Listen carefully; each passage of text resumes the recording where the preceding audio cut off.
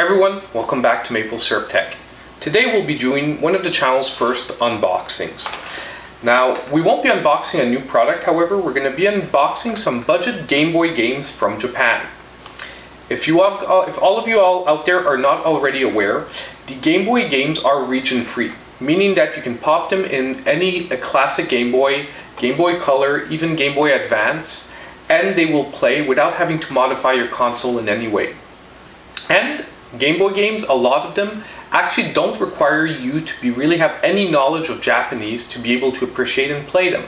Especially if you're already, you know, if you already know what the game's like on the US version.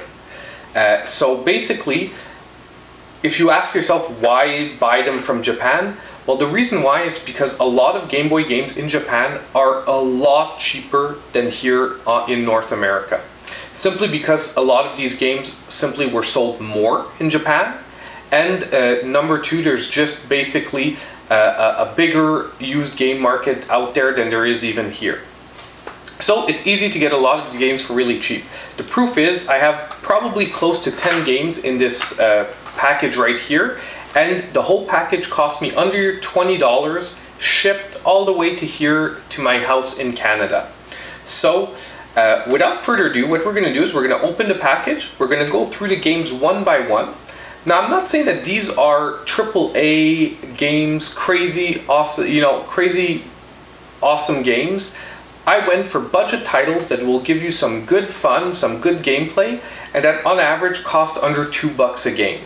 So basically, it's really hard to go wrong with $2, especially if the game will give you a few good hours of gameplay here and there. And a lot of these are actually classic titles, in my opinion. These are titles that the Game Boy was known for and that you'll still have fun playing today. So, let's, without further ado, let's take our knife and let's open this package. There we go. Okay. So, for our first title, we have Yoshi. Now, let me just take this off. Should be getting a close-up on the screen right now. So Yoshi is one of those classic puzzle games. Basically, uh, you're going to be lining up the similar Mario symbols. So you have different characters, different baddies that you have to line up. When you line up some together, basically they disappear. And the point is to generally clear the screen. If you have a link wire, the game can be played with multi multiple players. And this game actually cost me under $1. So honestly, for, for about 95 cents, you can't go wrong with Yoshi on Game Boy. So we have one game out of the way. What do we have next? We have Pokemon Yellow. Pokemon Yellow actually goes for quite a decent price here in North America. Uh, it's one of the most sought out of the first generation of Pokemon games. However, in Japan, for two bucks, you can get yourself a Pokemon Yellow. And if you're already, if you already know what the storyline is in Pokemon, figuring out in the stores what's a Pokeball, what's a potion, what's an antidote is actually really simple and if you don't mind you know foregoing the the story elements and just focusing on the gameplay because most people once you've played through pokemon red blue or yellow once uh, you're not going to really read the conversations with the trainers and whatnot. You're just focusing on building your team and fighting with them. So you've got to learn a little bit about which moves do what but you know, overall, with a basic, basic uh, little bit of Google Translate, you can easily play the first generation Pokemon games on your Game Boy. And for two bucks rather than about 30, I can say that's a decent price drop. After that, well, to continue on the Pokemon uh, trend, I got myself also a copy of Pokemon Red just because Red was the first ever Pokemon game I actually got as a kid. Wanted a copy of it from Japan just to complete my collection set. And once again, it cost me about a dollar fifty. Same thing as Pokemon Yellow. Once you get used to a little bit of Japanese, You'll be able to play the game very easily. And honestly, a lot of the things in shops, there's actually a few English words inserted here and there. Very easy pickup, very cheap pickup, and way easier to find than here in North America. Let's continue on. Oh. This next one is one of my favorites. Bomberman on Game Boy. Bomberman on Game Boy can actually go in, depending on where you live, can actually go for a decent price. In Japan, I got this for $2. So Bomberman for Game Boy, awesome game. I would really recommend it for anyone who's ever played a Bomberman game and is a fan of the general gameplay. And you, once again, don't need any knowledge of Japanese to be able to play this game fully and appreciate it.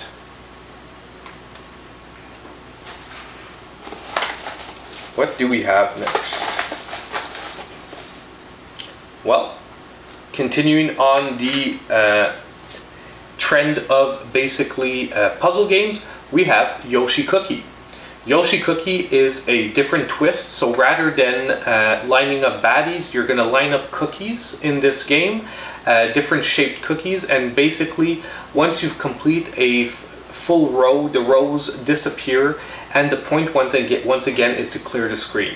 If you're a fan at all of Tetris or any type of puzzle games, you will not be disappointed with Yoshi Cookie. It's a really good playthrough and you can get some really good casual gaming out of this. It's a, it's a fun game to just pick up, do a couple of matches when you have 20 minutes to spare and you know you won't regret uh, buying this purchase, especially that it only cost me under a dollar. So once again, this is one of the cheaper ones that cost me about 95 cents. Hard to go wrong with all this.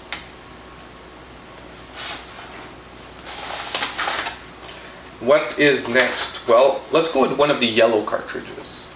And if you guys know the yellow cartridges, you know that there aren't that many games it could have been. And we have Super Donkey Kong for Game Boy. Once again, this is the Game Boy version of sort of Donkey Kong Country. It's a lot simpler, it's not as complex. Once again, you need zero knowledge of Japanese to be able to play this game. And uh, honestly, it's a decent playthrough. It's a, it's a decent game, it's fun. And honestly, for a dollar fifty, once again, how can you really complain? and it's one of the Game Boy classics, I would say. Uh, if you have a Game Boy and you're collecting Game Boy cartridges, you cannot go wrong with Super Donkey Kong. And while we're on Donkey Kong, well, we also have Donkey Kong Land, which is basically the sequel to Super Donkey Kong for Game Boy.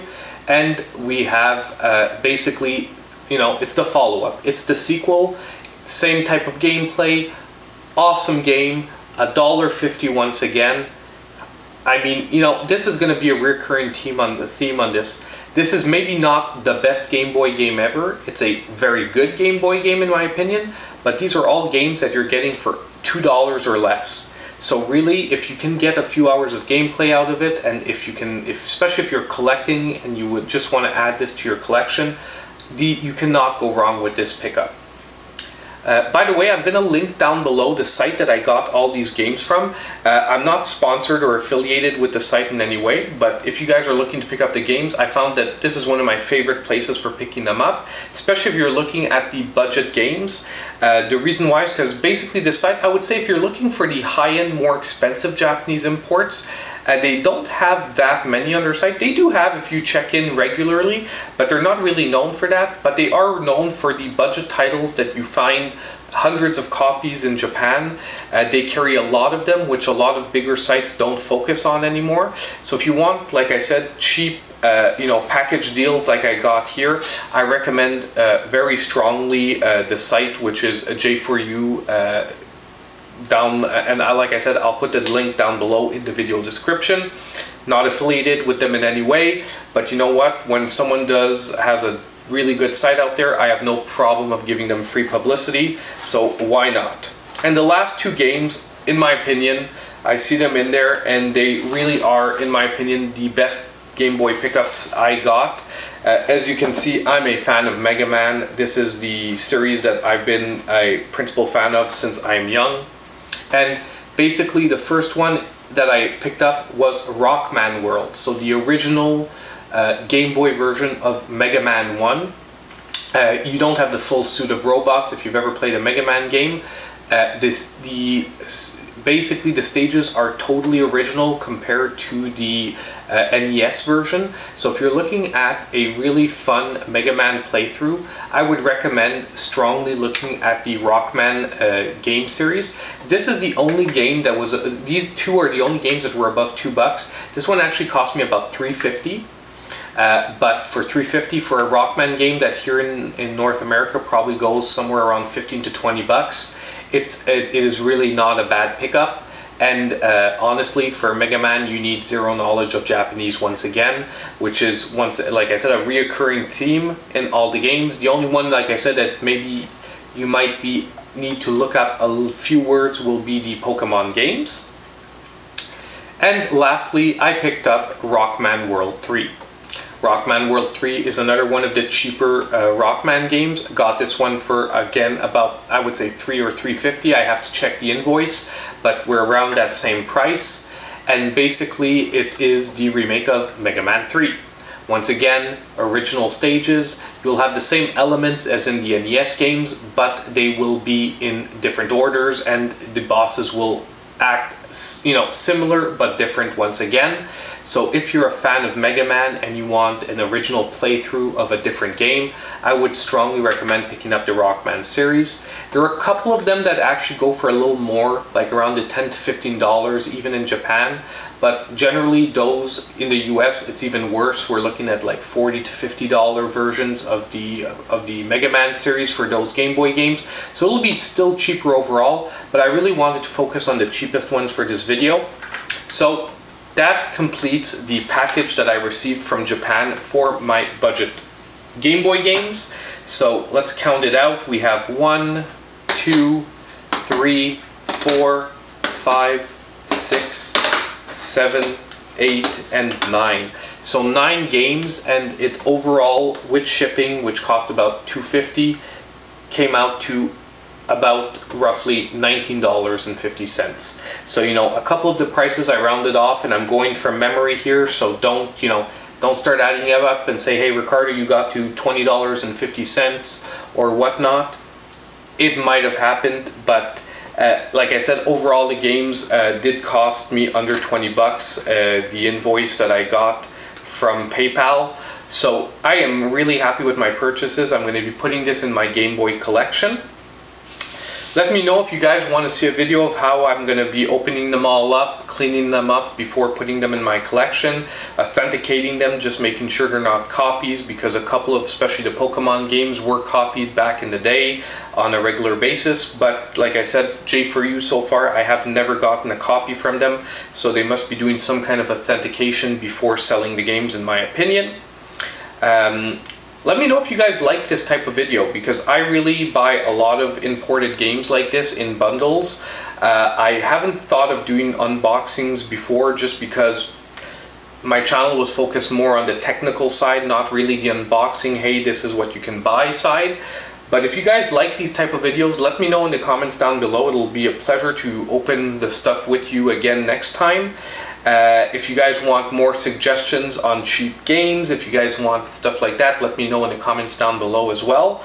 Like I said, none of these titles will be AAA or win any awards in my opinion, except maybe the Pokemons. Back in the day, those were AAA games. But for the price you're getting them for, you'll have some good uh, fun playing through them. So as usual, please leave a, lot, leave a like down below. Please subscribe, it really helps the channel a lot. You can leave a dislike as well as you did if you dislike the video and let me know why. And uh, if not, I hope I'll catch you guys in my next video.